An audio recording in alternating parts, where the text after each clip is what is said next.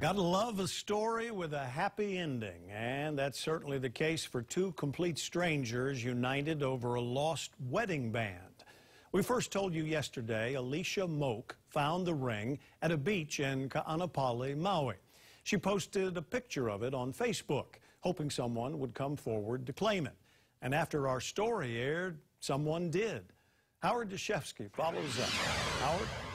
Joe certainly was a happy ending. Alicia Moak's post quickly went viral, garnering hundreds of thousands of shares, but it wasn't until we ran the story last night that the ring's rightful owner put it all together and came forward.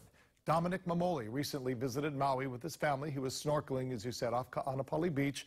When he got back to the sand, he noticed the ring was gone. Dominic says yesterday that a coworker mentioned seeing Moak's post, so he Googled it, came across our story, he figured it would be a long shot, but lo and behold. I was like, oh my God, that's actually my ring. I think we are both just in shock that, you know, what are the odds of something like this happening?